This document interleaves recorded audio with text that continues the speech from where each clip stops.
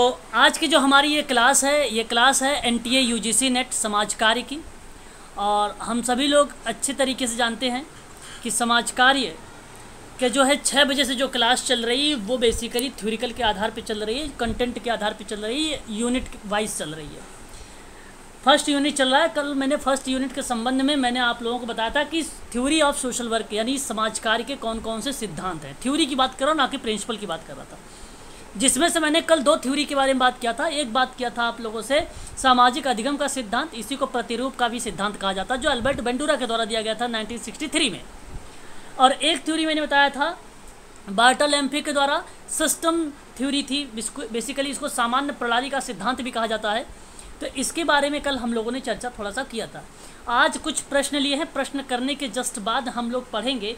Eric erection का एक theory है, मनोसामाजिक विकास का सिद्धांत, ये सोशल वर्क में भी लागू होता है। तो देखिए यहाँ पे पहला प्रश्न आपके सामने है कि अल्बर्ट बैंडूरा निम्न में से किससे संबंधित है? क्या सामाजिक अधिगम से, क्या व्यवहारवादी से, संज्ञानात्मक से कि विकास का मनोवेग सामाजिक सिद्धांत से? ठीक है। सामाजिक, यहाँ पे सामाजिक अधिगम का जो सिद्धांत आप लोगों ने बताया है सोशल लर्निंग थ्योरी जो बताया है, यही ऑप्शन आपका करेक्ट हो जाएगा। याद रखिएगा, सभी लोग काफ़ी इंपॉर्टेंट है ये। सामाजिक अधिगम के जो सिद्धांत है, उसमें चार चरण है। ये काफ़ी इंपॉर्टेंट है, इसको आप ध्यान रखिएगा। पहला है ध्यान दूसरा चरण है प्रतिधारण। ये चरण एग्ज़ाम में प्रश्न बनाते हैं।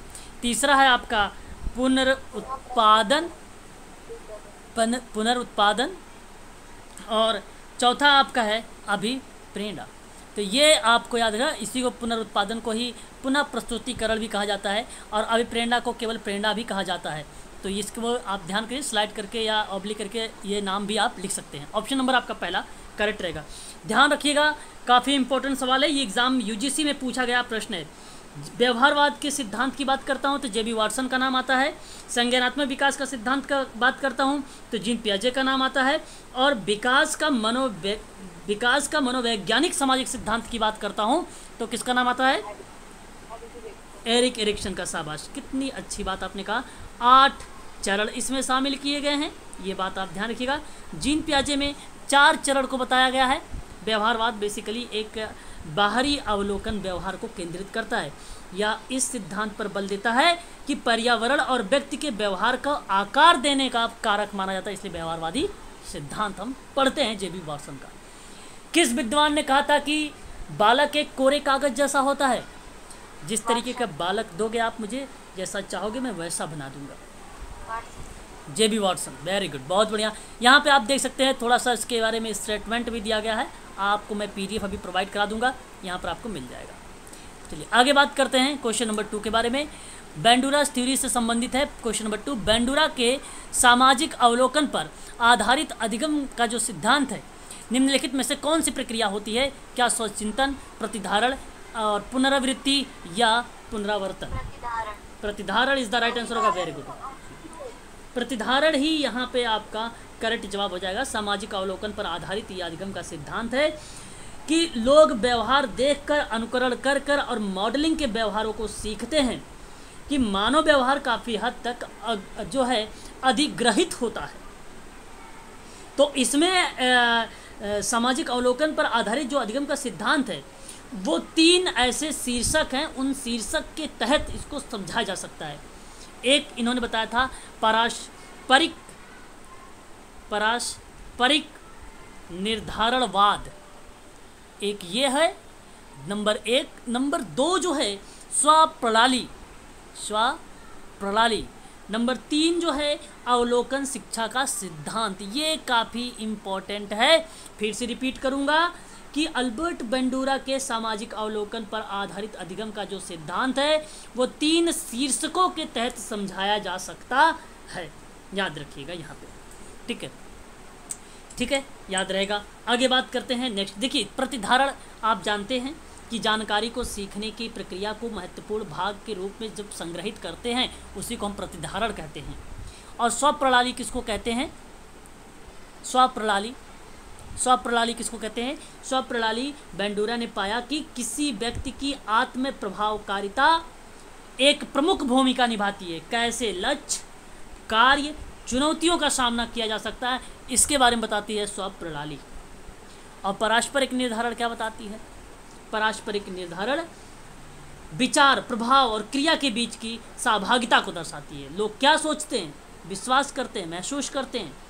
व्यवहार कैसे करते हैं इन सारी चीज़ों के बारे में बताती है।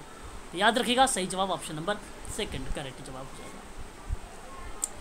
बात करेंगे नेक्स्ट क्वेश्चन पर हम लोग और हमारे सामने तीसरा प्रश्न है। कह रहा है कि अल्बर्ट बेंडूरा द्वारा प्रस्तावित अधिगम का सिद्धांत बोलिए शास्त्रीय संज्ञानात्मक और अंतर्दृष्टि सामाजिक अधिगम। सामाजिक अधिगम। बस बहुत बढ़िया बहुत बढ़िया बहुत बढ़िया क्वेश्चन हाँ सामाजिक अधिगम का सिद्धांत। क्या? क्या? अल्बर्ट बेंडूरा का प्रस्तावित अधिगम का सिद्धांत तो यही होगा ना? हाँ अच्छा अच्छा अच्छा। ठीक है ठीक है ठीक है। Bobo doll behaviour a study of aggression नामक प्रयोग पर निर्माण किया है ये अल्बर्ट बेंडूरा ने। याद रखिएगा इसका सही जवाब हो जाएगा ऑप्शन नंबर डी। शास्त्रीय अनुबंधन का सिद्धांत? पावलोव गुड संज्ञानात्मक? वेरी गुड अंतर्दृष्टि? वेरी गुड क्या बात है? समझदार हो आप लोग। क्वेश्चन नंबर चार। एक बच्चा गुस्से में एक अपने सगी साथी को, संगी साथी को उसी तरह मारता है जिस तरह से उसे घर से, घर पर सजा दी गई थी। उदाहरण, संचालक अनुकूलन शास्त्रीय अवलोकन और अंतर्दृष्टि अवलोकन बिल्कुल, अवलोकन यहाँ पे करेक्ट जवाब हो जाएगा।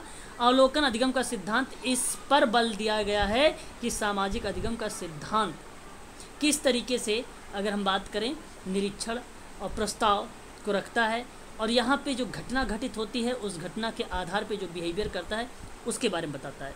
तो संज्ञानात्मक और समस्या मतलब सुलझाने के कौशल को दूसरों को देखकर और उसकी नकल करके सीखा जा सकता है। नए व्यवहार अनुभवों को तत्काल वातावरण में दूसरों को देखकर प्राप्त किया जाता है। और ये आप जानते भी हैं। बाकी आपको मालूम है चार चरण होते हैं। अवधान बोल दिया आप एक बार बता चुका हूँ अभी भी। प्रतिधारण को अवधारणा भी बोलते हैं। अवधारणा। वेरी गुड बहुत बढ़िया। नहीं पुनर्बलन ना कहें मोटिवेशन कहें प्रस्तुतिकरण और प्रेरणा बोल दीजिए या अभिप्रेरणा बोल दीजिए? पुनर्बलन अलग है। आगे बढ़िए।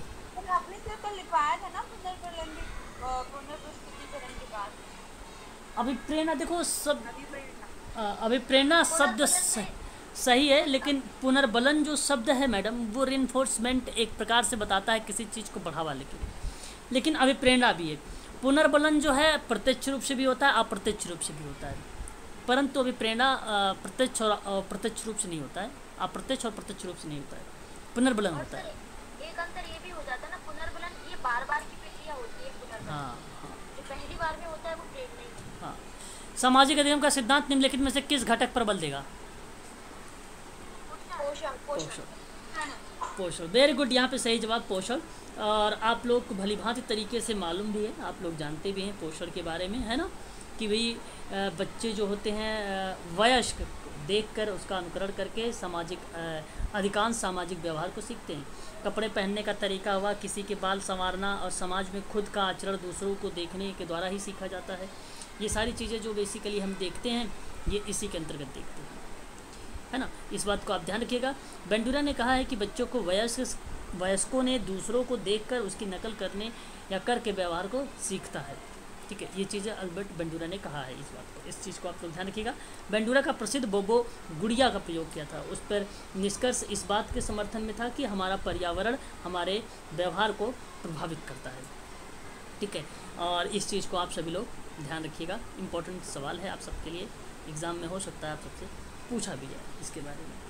और पर्यावरण, संस्कृति, समाज आदि जैसे जो कारक हैं, उनको दर्शाते हैं जो एक बच्चे के विकास के लिए पोषण जो है एक अहम भूमिका निभाता है, एक अहम कंपोनेंट के रूप में आता है, इसलिए आपका पोषण करेक्ट जवाब रहेगा, ना कि प्रकृति। क्वेश्चन नंबर सिक्स है कि वयस्क व्यवहार को आक्रामक रूप से देखकर ही बच्चे आक्रामक होना सीख सकते हैं।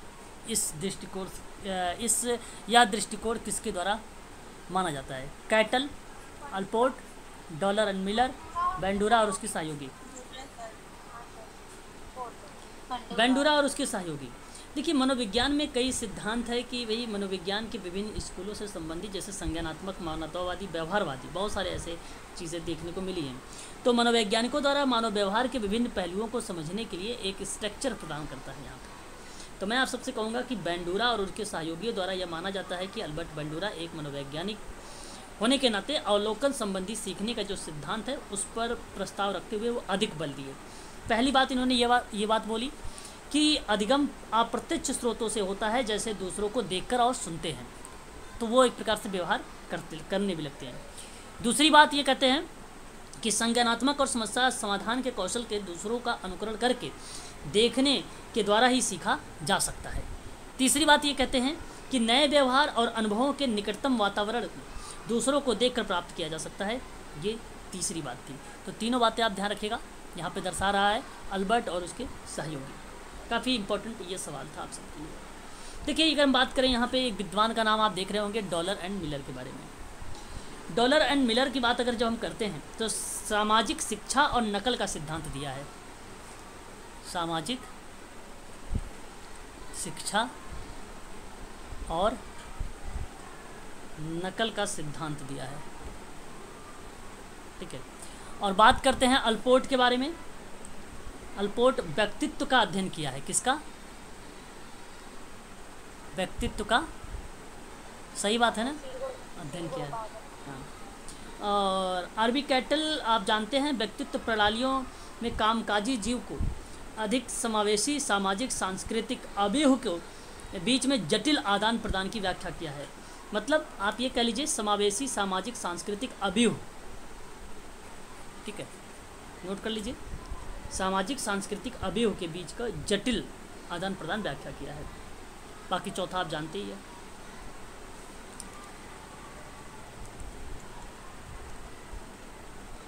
अल्बर्ट बेंडूरा अपने सिद्धांत के लिए जाने जाते हैं, बताइए।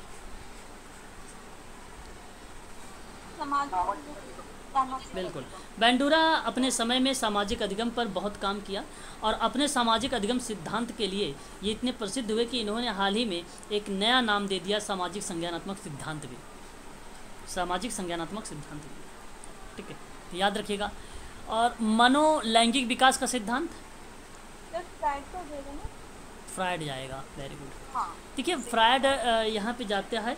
अगर हम बात करते हैं यहाँ पे जैसे संवेगात्मक सिद्धांत को लेकर तो इसका नाम जाता है पियाजे का। नैतिक में? कोहलबर्ग। कोहलबर्ग। ठीक है तो ये भी आप याद रखिएगा थोड़ा सा अल्बर्ट बेंडूरा ने बोबोडोल बिहेवियर और स्टडी ऑफ़ अग्रेशन। मैं बार बार बोल रहा हूँ किताब का नाम है इसको नोट कर लीजिएगा। किताब का नाम। ठीक है आगे बढ़िए सर ये जटिल ट्रांसफ़र है ना आपने बताया कि सामा- सामाजिक और सांस्कृतिक का वो कैटल का बताया हाँ जटिलता उसके साथ फिर उस पर एक व्याख्या किया था। जो समावेशी सामाजिक सांस्कृतिक अभियोग के बीच में जो जटिलता होती है ना उसके आदान प्रदान की व्याख्या करता है कैटल। कैटल। ठोस और तरल बुद्धि का सिद्धांत किसने दिया है? बिल्कुल। बिल्कुल बिल्कुल करेक्ट जवाब। अल्बर्ट बेंडूरा ने निम्न में से किससे संबंधित हैं? देखिए, बहुत सरल सवाल। पक्का? चलिए। सामाजिक अधिगम का सिद्धांत दिया है भाई, बहुत बढ़िया है। चार चरण है, नाम बताइए फिर से। पहला ध्यान आता है। उत्पादन। वेरी गुड चरण भी आपको याद होना चाहिए। व्यवहारवादी सिद्धांत?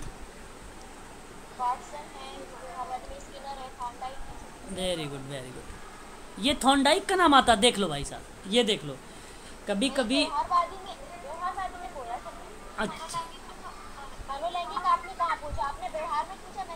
अच्छा ये देखो वाटसन है ये पियाजे हैं ये? ये तो फ्राइड फ्राइड है।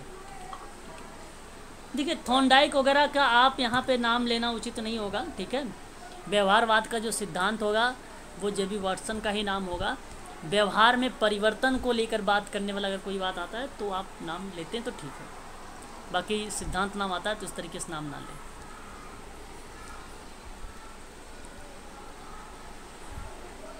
चलिए। क्रम बताइए, क्रम, अल्बर्ट बेंडूरा का, निरीक्षण अधिगम की चार परिस्थितियों की आवश्यक है बताइए, क्रम। तीसरा इज़ द राइट आंसर हो जाएगा, ठीक है? अवधान, धारणा, पुनरुत्पादन और अभिप्रेरणा ठीक है? बहुत बढ़िया। काम आ गया ना आप लोगों का ये? अभी बार बार बार बोल रहा था मैं। क्वेश्चन नंबर टेन अत्यंत निपुणतापूर्ण शिक्षण पद्धति जिस पर बेंडूरा और वॉटसन ने बल दिया था। सही, सॉरी, वॉल्टर्स वॉल्टर्स ने बल दिया था। हाँ वॉल्टर्स ने बल दिया था। रिचर्ड वॉल्टर्स के साथ जो है ना, ये एक जूनियर लेखक थे। एक मिनट। जूनियर लेखक थे रिचर्ड वाल्टर्स के साथ बेंडूरा ने किशोर आक्रामकता पर लिखा, जिसमें व्यक्तित्व विकास का वर्णन करने के लिए सामाजिक शिक्षण सिद्धांतों का उपयोग किया था। ठीक है? तो मैं आप सबसे कहूँगा कि अल्बर्ट बेंडूरा ने निरीक्षण युक्त अधिगम, सामाजिक अधिगम सिद्धांत को प्रस्ताव किया था। तो मैं आप सबसे कहूँगा कि आप सभी लोग जो जवाब दीजिएगा ऑप्शन नंबर बी को दीजिएगा। B is the right answer आगे बढ़िए।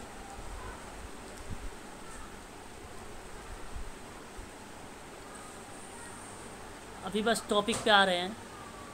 बताइए। निम्न, निम्नलिखित में से किसका विचार था कि प्रत्यक्ष अनुभव से? जो कुछ भी सीखा जा सकता है, वह अवलोकन से भी सीखा जा सकता है। मॉडल सबसे प्रभावी होते हैं, यदि उन्हें सम्मान, योग्यता, उच्च स्थिति या शक्ति के रूप में देखा जाता है तो इस प्रकार के ज़्यादातर मामलों में शिक्षक अत्यधिक प्रभावशाली मॉडल हो सकता है। बेंडूरा देखिए बेंडूरा का व्यक्तित्व का जो यहाँ पे बात मैं कर रहा था बेंडूरा का व्यक्तित्व का जो सामाजिक अधिगम का सिद्धांत इस आधार पर आधारित है कि मानव व्यवहार काफ़ी हद तक हासिल किया जा सकता है। और यह भी शिक्षा के सिद्धांत व्यवहार के विकास और रखरखाव के लिए पर्याप्त होगा। तो बेंडूरा ने अपने पूरे कैरियर में सामाजिक अधिगम पर जब इसने बहुत काम किए और अपने सामाजिक अधिगम के सिद्धांत के लिए प्रसिद्ध हुए, इन्होंने फिर इसका नाम बदला सामाजिक अधिगम का सिद्धांत। तो ये बात इन्होंने कहा है कि सम्मान, योग्यता, उच्च स्थिति और शक्ति के रूप में देखा जाता है। ये मॉडल क्या तो मॉडल एक ऐसा शब्द यहाँ पे इन्होंने डाल दिया, जिसकी वजह से अल्बर्ट बेंडूरा यहाँ पे सत्य हो गए। तो ज़्यादातर मामलों में शिक्षक अत्यधिक प्रभावशाली मॉडल हो सकता है, ऐसी बात भी कहना उचित होगा। तो प्रत्यक्ष अनुभव के माध्यम से। सोशल मॉडलिंग की व्याख्या तब की जा सकती है, जब किसी कार्य को सफलतापूर्वक पूरा करने और अन्य लोगों के साक्षी व्यक्ति आत्म प्रभावकारिता को एक महत्वपूर्ण स्रोतों के रूप में देखें तब आप यहाँ पर मान सकते हैं। मैं आप सबसे कहूँगा कि अल्बर्ट बेंडूरा का यह स्टेटमेंट है ऑप्शन नंबर बी वाला करेक्ट हो जाएगा। आप बताइए जरा अवलोकन अधिगम के चार ऐसे एलिमेंट देखो इंग्लिश में भी आता है अटेंशन अटेंशन अटेंशन ध्यान। ये तो गलत हो गया। मोटिव ओके तो B B is the right answer B right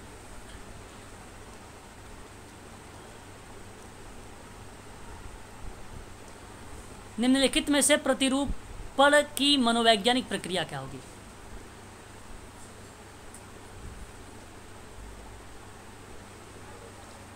अरे प्रतिरूपण पहला ही गया बस हाँ पहला ही। ऑप्शन नंबर पहला ही सही हो जाएगा यहाँ पे, प्रति, देखिए प्रतिरूपण एक तरीका है जिसके व्यवहार सीखा जाता है। जब कोई व्यक्ति दूसरे के व्यवहार का अवलोकन करता है और फिर उस व्यवहार का अनुकरण करता है तो वह व्यवहार का प्रतिरूपण कर रहा होता है।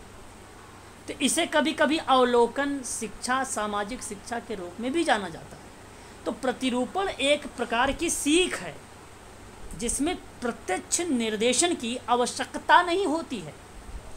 दरअसल किसी को इस बात की जानकारी ही नहीं होती है कि कोई और उसके व्यवहार के बारे में बता रहा होता है। और प्रतिरूपण एक नया व्यवहार सीख सकता है। तो पहले से सीखे गए व्यवहार की जो फ्रीक्वेंसी होती है, उसको प्रभावित कर सकता है। तो समान व्यवहार की आवृत्ति तो बढ़ जाती है। तो ऐसी कंडीशन पर अटेंशन अवधारणा और पुनरुत्पादन की प्रक्रिया ज़ाहिर होती है। तो ये चीज़ ध्यान रखिएगा। हालाँकि प्रतिरूपण की ये प्रक्रिया का चरण माना गया है। अवधान, अवधारणा और पुनरुत्पादन, अभिप्रेरणा। अभिप्रेरणा अगर होता तो गलत नहीं था। वो भी सही था, है ना? वो भी सही है था। गलत नहीं था। ठीक है ऑप्शन नंबर यहाँ पर आपका प्रतिरूपण की पूछ लिया था। प्रतिरूपण का भी ये सही जवाब है।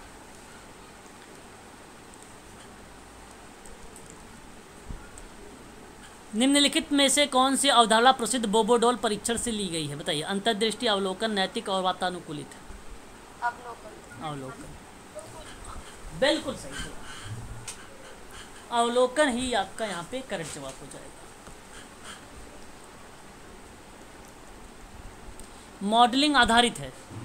शास्त्रीय पर क्रिया प्रसूत अनुबंधन पर सामाजिक संज्ञानात्मक प्रयास एवं त्रुटि पर सामाजिक संज्ञानात्मक संज्ञानात्मक बहुत अच्छा सवाल। सामाजिक संज्ञानात्मक वेरी गुड और यही सिद्धांत है अवलोकन का प्रतिरूपण का अल्बर्ट बैंडूरा का। ऑप्शन नंबर सी सही है। बताइए जरा शास्त्रीय अनुबंधन? पावला। किस पर? कुत्ते पर। 1904 वेरी गुड क्रिया प्रसूत अनुबंधन? बी एफ़ स्कीनर 1913 किस पर? चूहे पर। ट्रायल एंड एरर की थ्योरी कब आई थी?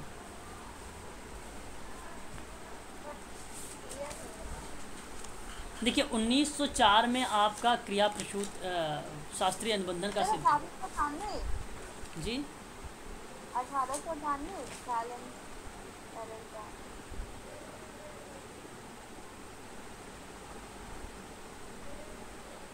1913 नहीं 1915 कर लीजिए। 1915 ठीक है। और, प्रयास एवं त्रुटि का सिद्धांत, पहला अधिगम ये माना जाता है, पहला अधिगम। पहला अधिगम ईल थॉर्नडाइक का है, बुद्धि पर आधारित नहीं है, बिल्ली पर दिया था इसने ना थॉर्नडाइक ने। किस पर दिया था? बिल्ली और और बंदर पर भी किया था। बंदर पर भी किया था इसने। ठीक है? बंदर पे किया था। तो ध्यान रखिएगा। देखिए, एक चीज़ बता देता हूँ नोट कर लीजिए अच्छा थोड़ा सा यहाँ पे बता देता हूँ, यहाँ पर ध्यान दो। देखिए, जो थ्योरी ऑफ़ लर्निंग है, जो अगर हम बात करें थ्योरी ऑफ़ लर्निंग के बारे में थोड़ा सा समझने की कोशिश करिएगा। लर्निंग दो भागों में डिवाइड था। एक था संज्ञानात्मक सिद्धांत पर और एक था व्यवहारवाद पर। जो व्यवहारात्मक सिद्धांत था, उसमें आता था एक जेबी वाटसन का।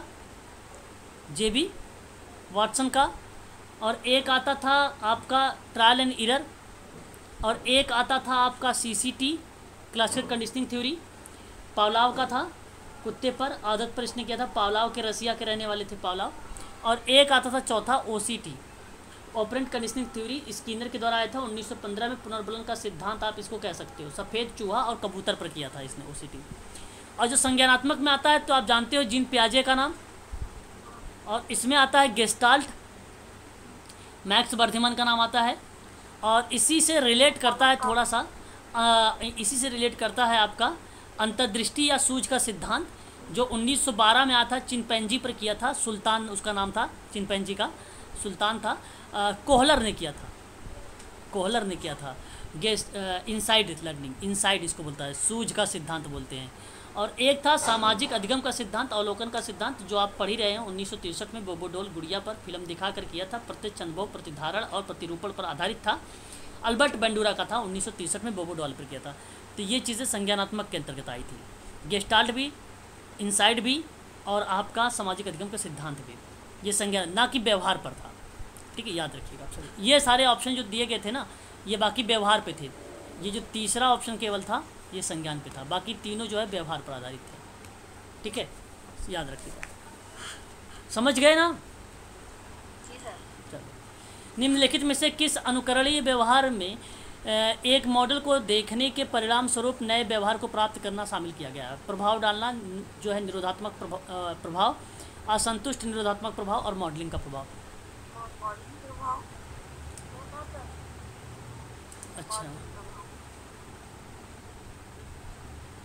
चलिए यहाँ पे मॉडलिंग प्रभाव is the right answer option number D correct हो जाएगा। देखिए मॉडलिंग प्रभाव की अवधारणा बेसिकली ऑब्जर्वेशन लर्निंग थ्योरी के नाम से ही जानी जाती है। मॉडलिंग प्रभाव का मतलब होता है नकली व्यवहार से, जिसमें एक मॉडल को देखने के परिणाम स्वरूप नया व्यवहार प्राप्त करना शामिल होता है। आप अभी योगा करेंगे तो मैं आपको देख के करूँगा तो ये मॉडलिंग हो जाएगा। है कि नहीं? वही चीज़ें बताई जा रही है। किस किस मॉडल का अवलोकन? किसी मॉडल का अवलोकन करके या सुदृढ़ीकरण के बिना निर्देशन निर्देश प्राप्त करके सीखने की क्षमता को डैश कहा जाता है। सामाजिक अधिगम ऑप्शन नंबर आपका बी सही रहेगा ठीक है। कितने क्वेश्चन रह गए? दो क्वेश्चन और रह गए। बैंडूरा ने सुझाव दिया था कि आत्म प्रभावकार मूल्यांकन सूचना के कितने स्रोत पर आधारित है? चार। चार। चार. इसमें चार हैं। अब ये चारों का नाम याद रखिए। नंबर एक, संज्ञानात्मक। प्रेरक, प्रभावी, चयन। एक, दो, तीन, चार। संज्ञानात्मक यह विचार पैटर्न पर प्रभाव को संदर्भित करता है। आत्म प्रभावकारिता क्षमता का मूल्यांकन और एक प्रयास करने की तैयारी को प्रभावित करती है। इसी को संज्ञानात्मक में रखा गया है। प्रेरक यह प्रभावित करता है कि हम कब तक प्रयास करते रहेंगे। प्रेरक, प्रभावी या तनाव चिंता नियंत्रण की भावना से संबंधित है। चयन, इसमें चुनौतीपूर्ण गतिविधियों को चुनना शामिल है।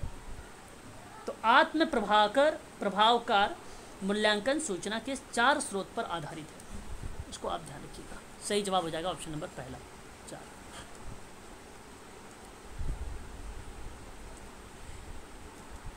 अवलोकन अधिगम का प्रस्तावक कौन है?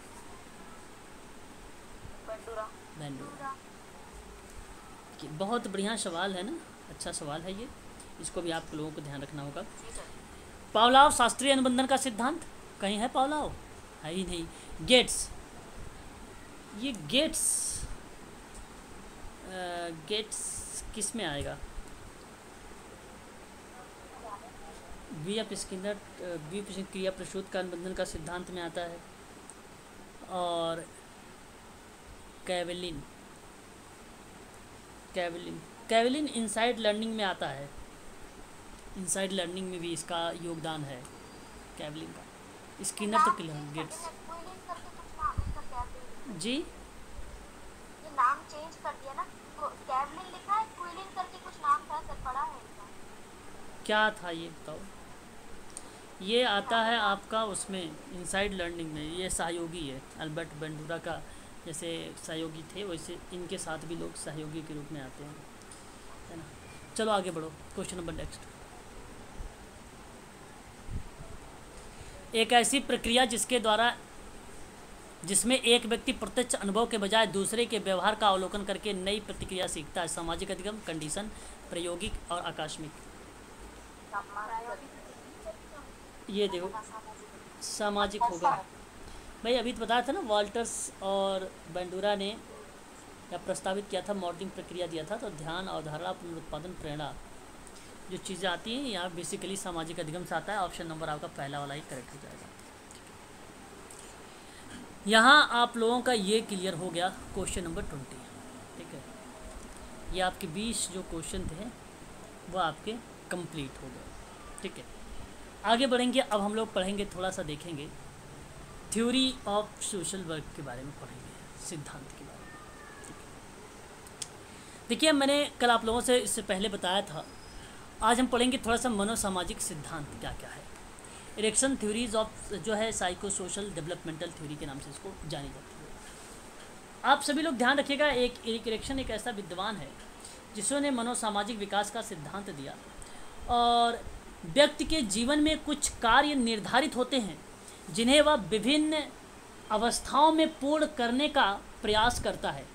प्रत्येक अवस्था में व्यक्ति को सकारात्मक और नकारात्मक विकल्प के बीच में संघर्ष का एक विकासात्मक संकट जिसको डेवलपमेंटल क्राइसिस बोलते हैं, उसका सामना करना पड़ता है। ये बात आपको मालूम है अच्छे तरीके से। मैं कुछ पॉइंट बताना चाहूँगा, जिसे प्रमुख बिंदु।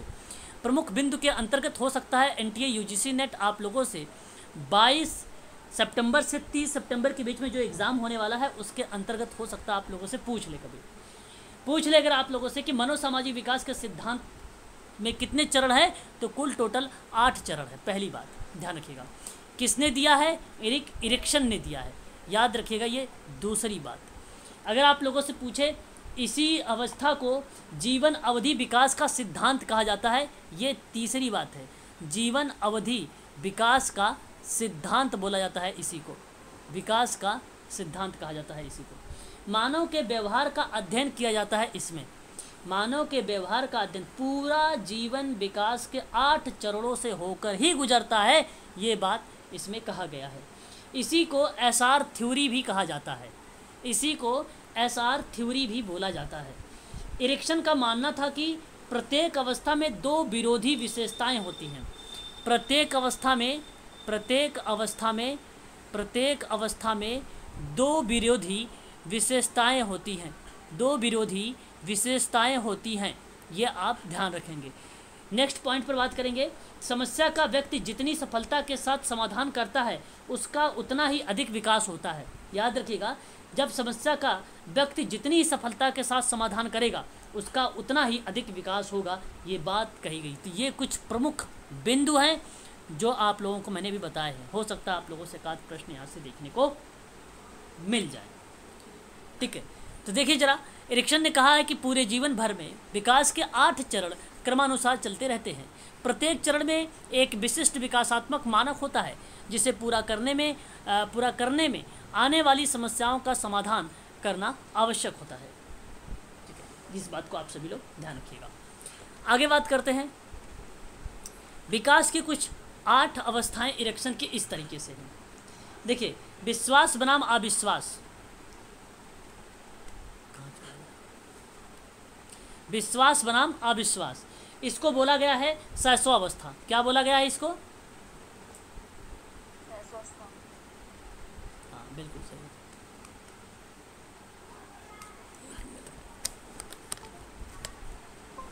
सहसवा अवस्था बोला गया है। ठीक है सहसवा अवस्था बोला गया है। ठीक है ये ये इसकी जो आयु होती है जन्म से लेकर दो वर्ष यानी ज़ीरो से दो वर्ष कह लीजिए। दूसरी बात करते हैं हम लोग। तो इसमें दूसरी अवस्था होती है स्वतंत्रता है ना? तो स्वतंत्रता वर्सेस संदेह। संदेह को हम लोग क्या बोल सकते हैं? लज्जा भी बोल सकते हैं। एग्ज़ाम में पूछा जाता है ये। इसी को हम लोग शर्म भी बोल सकते हैं। हाँ ठीक है। ये तीन शब्द आ सकता है। स्वतंत्रता को स्वायत्तता भी कहा जाता है। ये अर्ली चाइल्डहुड होता है। इसको हम लोग क्या बोल सकते हैं? प्रारंभिक। आदित्य सर समझ में आ रहा है? क- हाँ ध्यान दीजिएगा। ठीक है, ये इसकी आयु जो होगी, वो तीन से चार वर्ष। अगर आप एस के मंगल की बुक देखते हैं तो वहाँ पर आपको मिलता है दो से तीन वर्ष।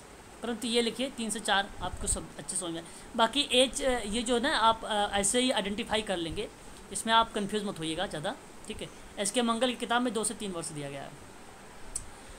नेक्स्ट बात करेंगे हम लोग। आत्मबल वर्सेस अपराध की अवस्था। आप इसी को जो है आत्मबल को हम लोग पहल शक्ति बोल सकते हैं? हाँ उपक्रम बोल सकते हैं? बिल्कुल। पहल शक्ति उपक्रम भी बोल सकते हैं। ठीक है याद रखिएगा। वर्सेस अपराध। अपराध को हम लोग बोध। देखो अपराध बोध की संज्ञा तो दी गई है। यहाँ पे इसको हम दोष दोष बो, जो है दोष बोध कह सकते हैं। दोष बोध भी बोल सकते हैं अपराध को ही बोला जाता है। और या तो हम दोषिता भी कह सकते हैं इसी को तीन नाम। देखिए जो शब्द यूजीसी यूज़ यूज़ करता है ना मैं उसको भी लिख रहा हूँ आप लोगों के सामने। ठीक है? इसको हम लोग बोलते हैं खेल की अवस्था बोल सकते हैं ना? हाँ हाँ ये चार से पाँच मिलेगा हरि एस के मंगल में पाँच से छः मिल रहा है आपको ये पीडीएफ में। तो एस हाँ याद रखिएगा। ये अवस्था ये इंपॉर्टेंट है इसको आप ध्यान रखिएगा। अभी मैं आप लोगों को एक चीज़ और बताने वाला हूँ। जानते हैं आपको क्या बताने वाला एक और चीज़? नहीं पता। अच्छा ठीक है। सिगमन फ्रायड के साथ इरेक्शन का। हाँ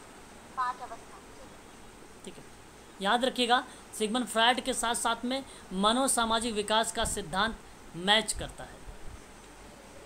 क्या करता है? मैच करता है। अभी हम लोग उसके बारे में थोड़ा सा चर्चा करेंगे कि उसके कौन कौन से ऐसे सिद्धांत हैं जो मनोसामाजिक विकास के सिद्धांत से उससे मैच करता है सुमिलित करता है। है ना? अभी देखेंगे। थोड़ा सा बने रहिए आप लोग। ठीक है? आगे बढ़िए। अच्छा ये हो गया याद। आपको समझ में आ गया होगा इसके बारे में तो। फिर उसके बाद अगर हम बात करते हैं नेक्स्ट हमारे सामने है एक और चीज़। देखते हैं। परिश्रम। परिश्रम वर्सेस हीनता की अवस्था होती है। परिश्रम को हम लोग जो है उद्यम भी बोल बोल सकते हैं। उद्यम बोल सकते हैं। और हीनता को अगर हम बात करें तो हीनता ही बोलिए ठीक है? हीनता ही यही आएगा। हीन भावना वही है लेकिन हीन भावना हाँ आ जाएगा ऐसा हो सकता है है ना? ठीक है हीन भावना भी ले सकते हैं। तो उद्यम और परिश्रम एक है। और ये खेल अवस्था शैशवावस्था हो गया प्रारंभिक बाल अवस्था हो गया खेल अवस्था हो गया उसके बाद आपका आ जाएगा चौथा में योना पोवर्टी नाम सुना होगा? मैंने आप लोगों को साथ पढ़ाया भी है थोड़ा सा और उसके बाद इसी को बोला जाता है स्कूल अवस्था भी। बच्चा अब स्कूल जा रहा है विद्यालय जा रहा है? सात से बारह। सात से बारह। ठीक है? क्लियर? बोलते रहिएगा थो- साथ साथ में थोड़ा थोड़ा हाँ सर। अब देखिए।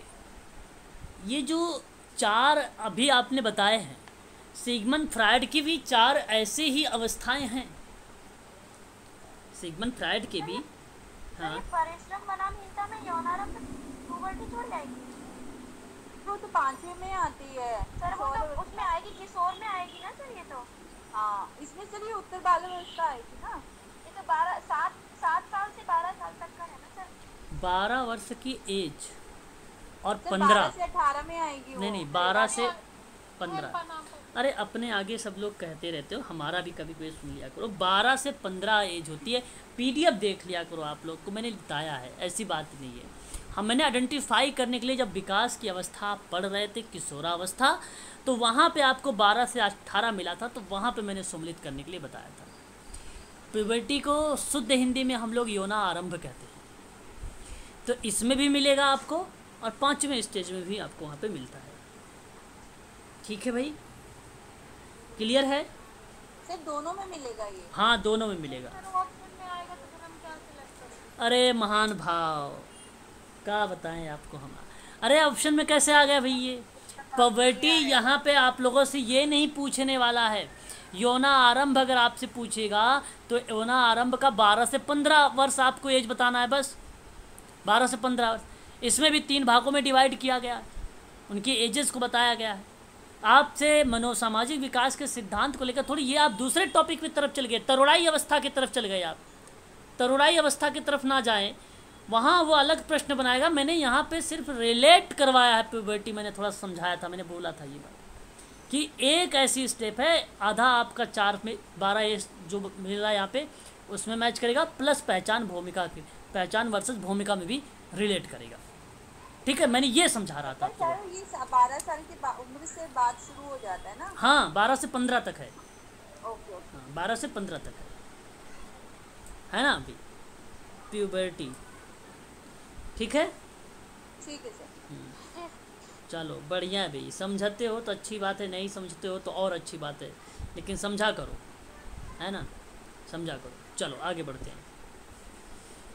कहाँ चल रहा था मैं? भूल गया। क्या बता रहा था आप लोगों को?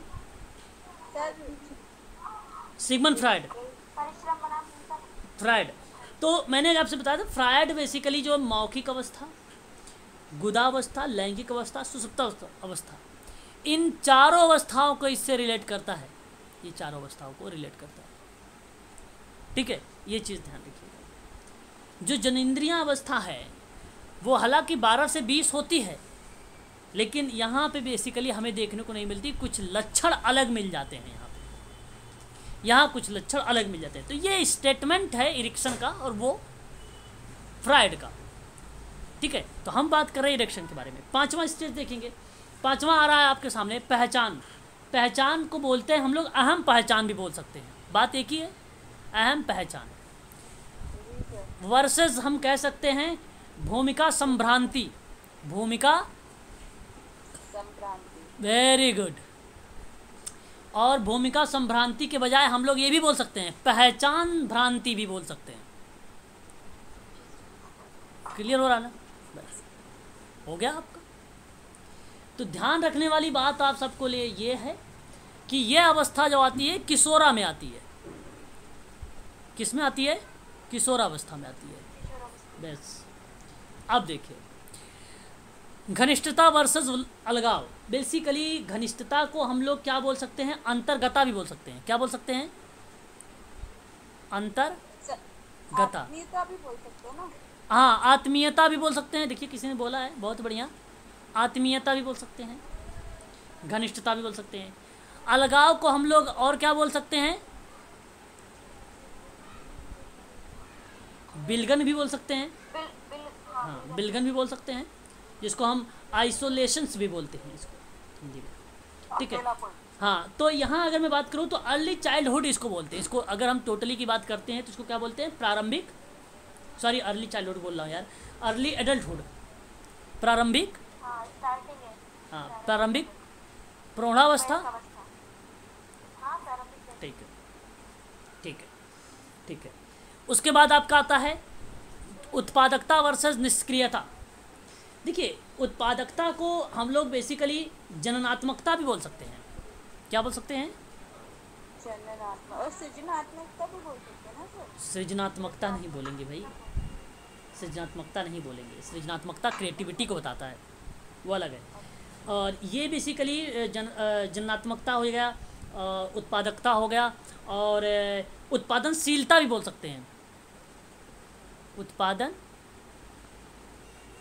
शीलता भी बोल सकते हैं। वर्सेस निष्क्रियता। निष्क्रियता को गतिरोधक कह सकते हो। निष्क्रियता को गतिरोधक कह सकते हो। स्थिरता भी बोल सकते हैं हाँ बिल्कुल। स्थिरता भी बोल सकते हो। मंदता भी कह सकते हो। मंदता भी कह सकते हो। ठीक है? ये आता है मिडिल एडल्टहुड मध्य प्रौढ़ावस्था। क्या आता है ये? मध्य प्रौढ़ावस्था या मध्य वयस्कावस्था बिल्कुल बिल्कुल बिल्कुल। ठीक है? एक लास्ट आता है आपके सामने। ईमानदारी वर्सेस निराशा। ईमानदारी को हम लोग हम जानते क्या बोल सकते हैं? अहम संपूर्णता भी बोल सकते हैं। क्या बोल सकते हैं? अहम संपूर्णता। या समग्रता भी बोल सकते हो? हाँ समग्रता बोल सकते हो। परिपक्वता। परिपक्वता नहीं ये परिपक्वता का लास्ट वो बनेगा। ना अभी बताता हूँ वो क्या बनता है वो स्टेजेस बनेगा। और समग्रता के बाद हम इसको आत्मनिष्ठा भी बोल सकते हैं। आत्म निष्ठा भी बोल सकते हैं। और निराशा को अब तो निराशा ही होगा ठीक है? अच्छा इसमें जैसे आपने सर बताया ना परिपक्वता। सर हताशा भी बोल सकते हैं ना हाँ हाँ हाँ हाँ हाँ हाँ हताशा भी बोल सकते हैं। इसमें जो होगा वो होगा परिपक्वता। परिपक्वता बोल सकते हैं इसको। परिपक्वता को ही हम लोग उत्तर प्रौढ़ावस्था भी कह सकते हैं। उत्तर प्रौढ़ावस्था भी बोल सकते हैं। स्पष्ट हो गया ना सबको?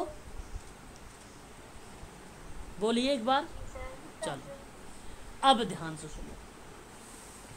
इन इन अवस्थाओं में पता है, कुछ संघर्ष उत्पन्न होते हैं। थोड़ा थोड़ा सा बता देता हूँ, समझ लो आप लोग, क्योंकि हो सकता है अगर एक आध बनाया जाए तो आप वहाँ पे कर लो। चलो अच्छा आप ही लोग बताओगे कि मैं बताऊँ आप लोगों को? मैं ही बताता हूँ सुनो दीजिए। ठीक है सुनो। देखिए विश्वास वर्सेस अविश्वास मतलब ट्रस्ट वर्सेस मिसट्रस्ट बेसिकली अगर हम इसके बारे में बात जब करते हैं तो इस अवस्था में शिशु विश्वास करना सीखता है। अगर हम उसका सही तरीके से ख्याल नहीं रख पाते हैं तो बच्चे के अंदर अविश्वास की भावना पैदा हो जाती है। बालक मुख्य रूप से अपनी माँ और अपने परिवार के प्रति विश्वास रखता है। सुरक्षा की भावना का विकास होता है तो आप यहाँ पे कहते हैं कि विश्वास वर्सेस अविश्वास। अविश्वास बेसिकली होता क्या है कि शिशु के पालन प्यार में, विश्वास के माहौल में होने पर उसमें विश्वास का जो भाव उत्पन्न हुआ वो बेसिकली विश्वास को रिप्रेजेंट किया। और जब विश्वास का अभाव हुआ तो बालक के अंदर अविश्वास का भाव उत्पन्न हुआ।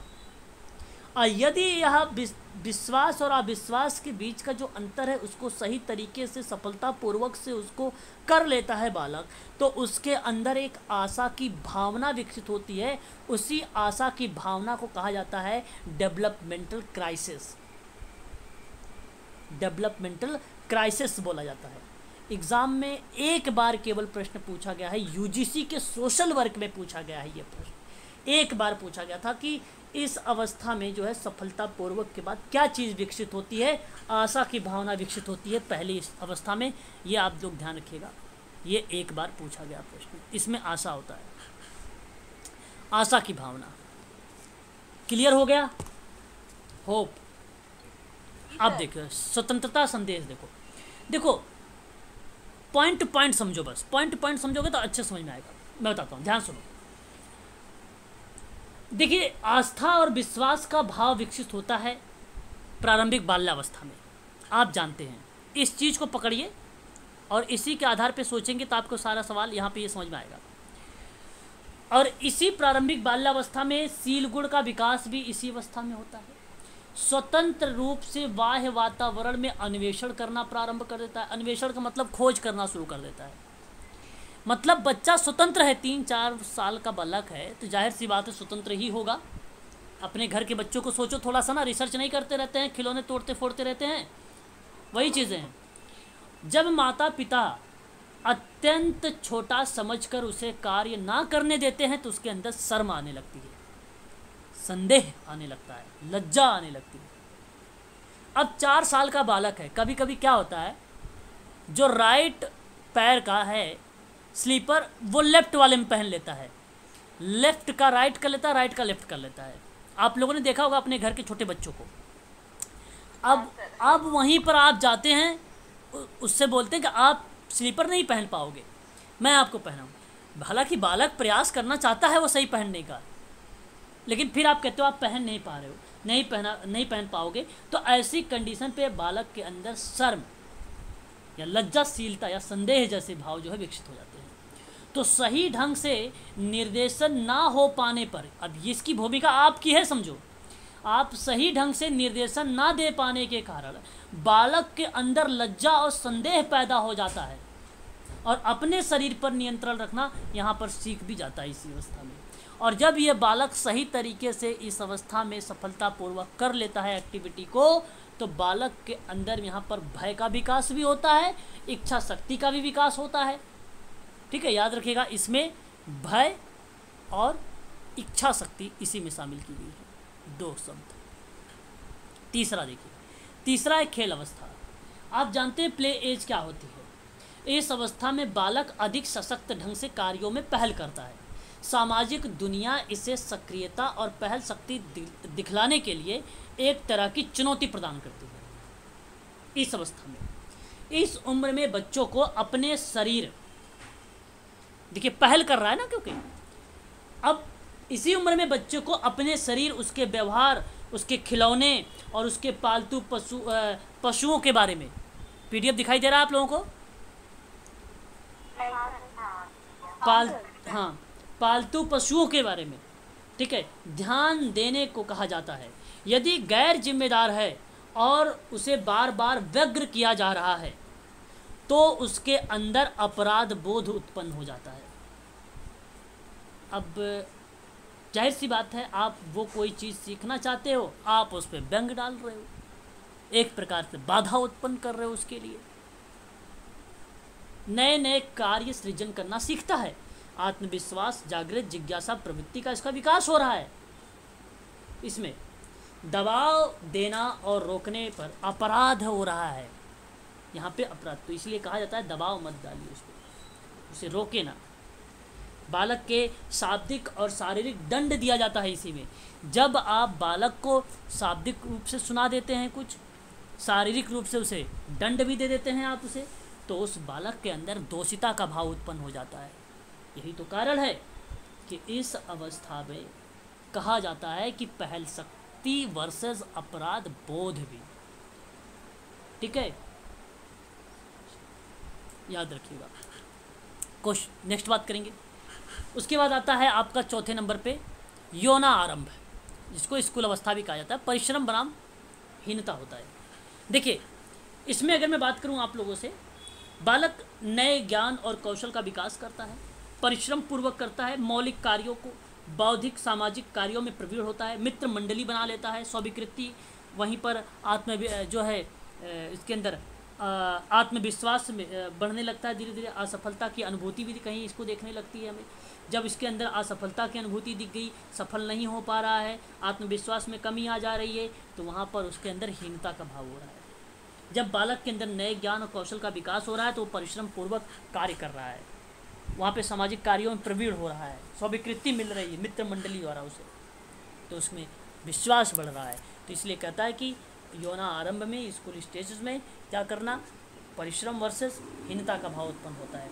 नए, जब नए अनुभव के संपर्क में आता है जैसे जैसे मध्य और अंत तक पहुँचता है, तब बौद्धिक कौशल ज्ञान को हासिल करने की दिशा में मोड़ देता है। तो बाल्यावस्था का अंतिम चरण कल्पनाशीलता से भरा होता है। और इस आयु में बालक के अंदर हीन भावना, अपने आप को अयोग्य और असमर्थ समझने की भावना विकसित होने लगती है। तो यहाँ पर एक भाव उत्पन्न होता है या एक प्रकार से एक सफलतापूर्वक की अवस्था में एक डेवलपमेंटल क्राइसिस उत्पन्न होता है, जिसको हम लोग बोलते हैं सक्षमता या सामर्थ्यता सक्षमता या सामर्थ्यता बोलते हैं। नंबर पाँच की बात करेंगे। अहम पहचान की होती है। स्वयं पहचान बनाने के लिए किशोर स्वयं पहचान बनाने के लिए किशोर को विभिन्न भूमिकाओं को सम, जो है सम्मित जो है सम्मावित करने की आवश्यकता होती है। ऐसा ना कर पाने पर भूमिका भ्रम उत्पन्न हो जाता है। विभिन्न प्रकार के जो प्रश्न पूछे जाते हैं इसमें, किससे संबंधित जीवन कहाँ हो जा रहा है? किशोरों में बहुत सारी नई भूमिकाएँ, वयस्क स्थिति सामना कर रहा होता है। एक ही भूमिका में विभिन्न भागों का पता लगाते हैं इसमें।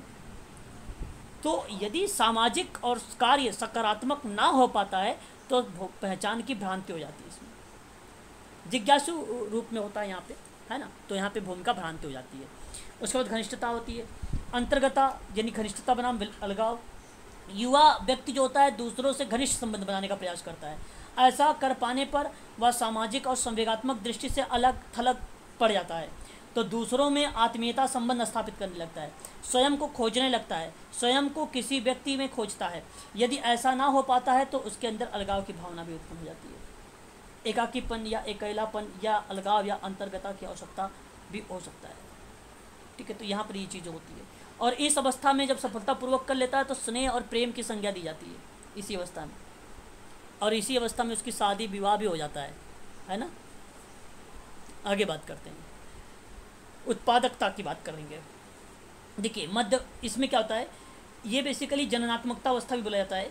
इसका अर्थ होता है कि अपनी अगली पीढ़ी के साथ सामाजिक कल्याण के लिए सोचना। जब जननात्मक चिंता उत्पन्न नहीं हो पाता है तो उसके अंदर स्थिरता का खतरा बढ़ जाता है। इसलिए इसको कहा जाता है निष्क्रियता भी कहा जाता है। निष्क्रियता भी बोला जाता है। प्रौढ़ा के दौरान में व्यक्ति युवा व्यक्तियों के सहयोग देना और निर्देश देने के सक्रिय ढंग से भूमिका निभाता है।